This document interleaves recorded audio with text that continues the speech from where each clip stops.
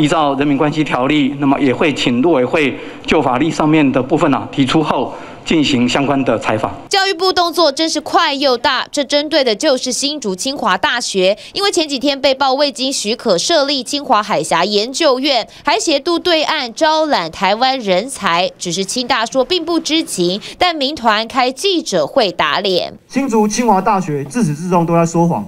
贺成宏校长还有前校长陈立俊，他们的行程之一就是新竹清华大学校内的海峡研究院的办公室。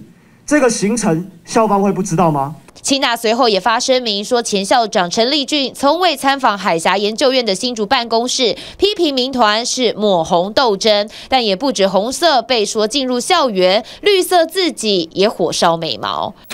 海报标题写“二零二一年公共政策研习班”，讲师有林佑昌，还有口译哥赵一翔。原来是民进党新北市党部主办，但后面还有台北大学一起，整个研习班地点也在台北大学。蓝营提出质疑。他在从宣传上就看到是党部跟台北大学合办哦，那合办呢，其实就代表政党已经进入校园了。因为看看这研习班的结业证书，也有部主任的样章，蓝营批评太夸张。各大学来办理相关推广教育的部分啊，我想这个个常态，自己实质的情形我并不了解。潘文忠一问三不知，民进党新北市党部则发声明说，当日课程未有设任何有关本党旗帜布条。却被有心人士扭曲为政治进入校园，动机令人匪夷所思。但毕竟自己说不能有色彩进校园，就得更严以律己。TVB 新闻黄俊伟、黄冠伟、谭英来三区小组台北报道，请支持专门报道国际新闻的全新 YouTube 频道 TVBS 国际 Plus，